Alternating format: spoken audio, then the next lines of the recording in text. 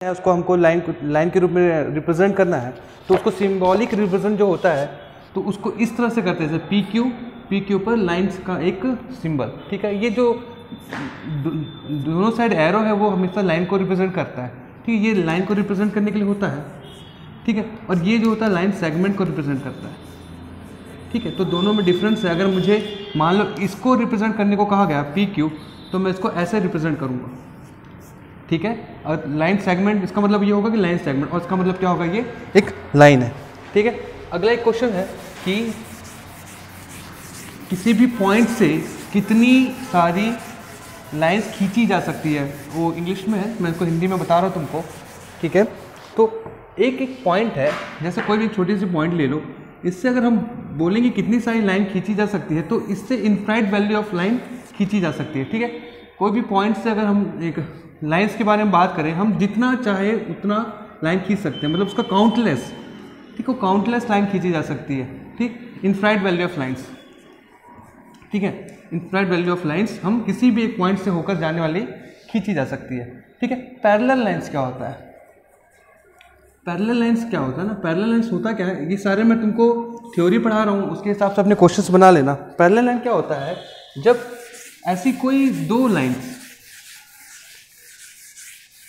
ऐसी कोई दो लाइन जो कभी भी एक दूसरे को इंटरसेक्ट नहीं करे। जैसे हमको पता है कि ट्रेन का जो ट्रैक है वो हमेशा साथ में चलता है बट कभी एक दूसरे को इंटरसेक्ट नहीं करता। ठीक? तो उसको कहते हैं पैरेलल लाइन्स ठीक? दोनों कभी एक दूसरे को आ, क्या करेंगे? इंटरसेक्ट नहीं करेंगे। इंटरसेक्ट मीन्स दैट कि ऐसा कहीं नहीं काटेंगे। वो कहीं भी एक दूसरे को कहीं से इस तरह से नहीं काटेंगे। ठीक है? वो हमेशा एक सीधी लाइन में दोनों जाते रहेंगे चाहे उसको हम लोग किसी भी इनफाइट वैल्यू तक तो उसको उसको आगे लेके चल जाए। ठीक है? और हमेशा जो पैरेलल लाइन होती है तो उनके बीच का जो डिफरेंस है, मान लो यहाँ पर फाइव मीटर है तो यहाँ पर भी फाइव मीटर यहाँ भी फाइव मीटर और कहीं पर भी ले जाएँगे तो फाइव मीटर रहेगा।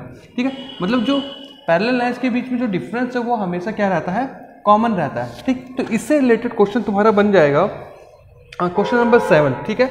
All pair of parallel lines five pair of intersecting line intersecting intersecting line क्या होता है? जैसे ये लाइन है, ये दो लाइन एक दूसरे को काट रही है तो ये इंटरसेक्टिंग लाइन है। ठीक?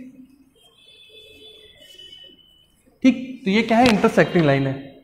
ठीक, अब उसके हिसाब से हम intersection J intersection on J मतलब जैसे कोई पॉइंट है, मान लो इस पॉइंट है जे ठीक, अगर इससे कौन सी दो लाइन यहाँ पर आके एक दूसरे को कट कर रही है, ये भी हम देखने के लिए हमारे क्वेश्चन नंबर सेवन है।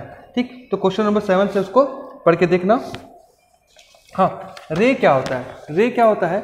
जब भी कोई लाइन है लाइन है, ठीक है? उसका स्टार्टिंग पॉइंट एक होगा और वो आगे तक बढ़ती चली जाएगी। फॉर एग्ज़ाम्पल टॉर्च है ना? टॉर्च का हमारा एक बल्ब होता है, वहाँ से पूरी लाइन्स निकलती हैं, ठीक? वो आगे ऐसा फैलते जाता है पूरा एक ही पॉइंट से, ठीक? तो इसको रे कहेंगे, ठीक? जिसका स्टार्टिंग पॉइंट एक हो मतलब स्टार्टिंग पॉइंट हो और उसका एक ही साइड वो हमेशा बढ़ते जाती है। तो इस थ्योरी से पूरा तुम्हारा नाइन ए बन जाएगा। तो इस नाइन ए को सॉल्व कर लेना और नाइन बी है नाइन बी ईजी है। उसको देखने से समझ में आ जाएगा कि नाइन बी को हमको कैसे करना है। ओके इसको कर लेना और डाउट होगी तो मुझे बता देना। ठीक है? Thank you